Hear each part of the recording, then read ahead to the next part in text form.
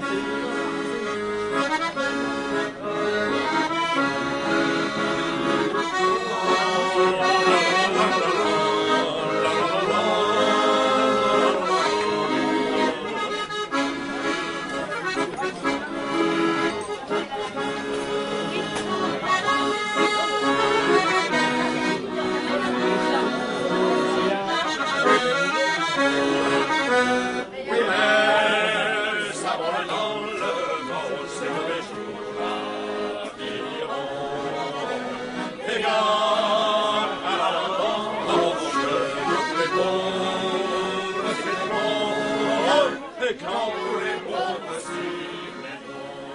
Êtes-vous contrarié par mon retour?